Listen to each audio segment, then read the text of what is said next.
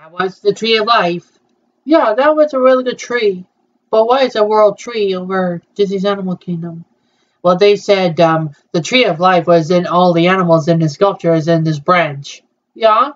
And then the world tree is really good at when really on uh, Disney's Animal Kingdom. The tree of life has um has a lot of different animals like elephants, giraffes, lions, cheetahs, tigers, monkeys, um, antelopes, zebras.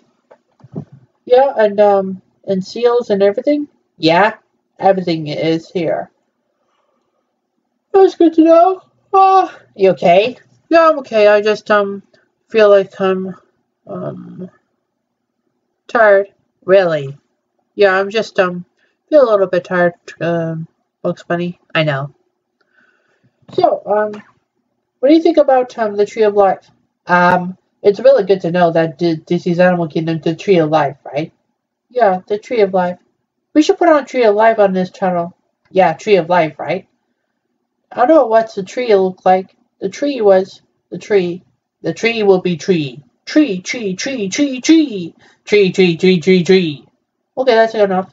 I just saying the word tree is. Tree of Life is really a tree. Yeah, it is a tree.